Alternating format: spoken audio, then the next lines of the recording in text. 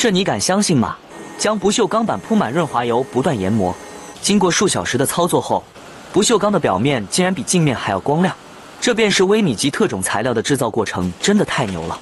今天将为大家详细了解微米级不锈钢研磨。眼前便是不锈钢板，也是此次制作主要材料。此种不锈钢主要用于电子设备层的压板，例如电路板或者手机壳都可能会有此材料的身影。现在进入第一步工序，开始初级研磨。这里对表面可能存在的划痕做一个粗加工，不断研磨，不断使用鸡毛掸子清理表面，时不时的拿出放大镜观察每一块细小的位置。虽然只是粗加工，但对此环节仍要进行二十分钟以上。对于追求速度和产量而言，这是很难想象的。现在开始更换研磨纸，类似于砂纸，但比砂纸要精细数倍。固定在机器后，靠着经验和技巧不断推动加工。不得不说，长时间一个动作操作对于手臂的考验十分大。经过数分钟后，一张不锈钢板加工完成了，准备运输到下个环节，开始机器研磨。这也是第二道工序，相比起来，这个更轻松。眼前便是自动研磨机，准备开始自动化加工。工具在铺满润滑油的金属上高速旋转。加工方式类似于机床平面洗刀，以进行平面切削。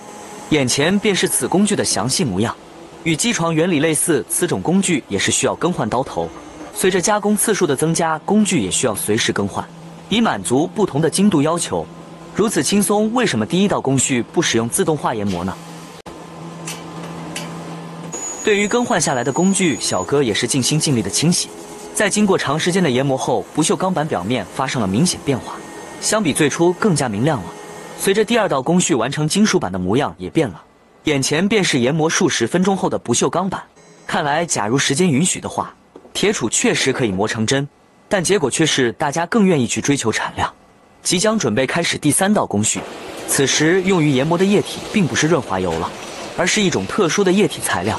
在数分钟的研磨后，来到了第四道工序。这也是最后一个步骤。这里所做的是清除表面残留铁屑。